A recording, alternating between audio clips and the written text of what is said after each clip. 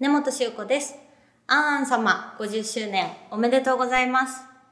えー私は連載を始めさせてもらうまで、あんあんが週刊誌であるということを知らなくてですね、あの、各週ぐらいかなって思ってたら、あの、週刊誌だっていうことが分かって、毎週出てて、これだけの情報量が毎週載っていて、編集者の方々は本当にものすごい労力で毎週作られている雑誌だと思っていて読んでるだけの時はそんなこと考えずただ面白いなと思って読んでいたんですけど関わらせてもらってそこがあのものすごくあの尊敬もしてますし